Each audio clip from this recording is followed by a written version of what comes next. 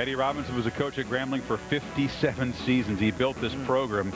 And now at age 86, the old coach is trying to resist the grip of Alzheimer's.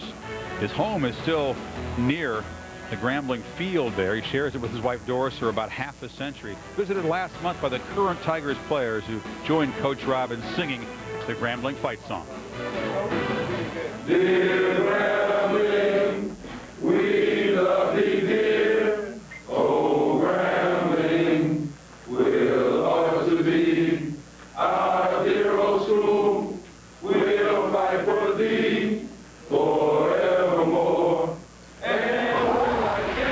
A great moment there.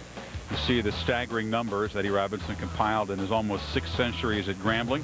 The state funds were approved for a museum honoring his legacy. Now with budget cuts in a very troubled state that appears to be in limbo, we hope that can get sorted out. We salute Coach Robinson as we visit the Bayou Classic for the first time.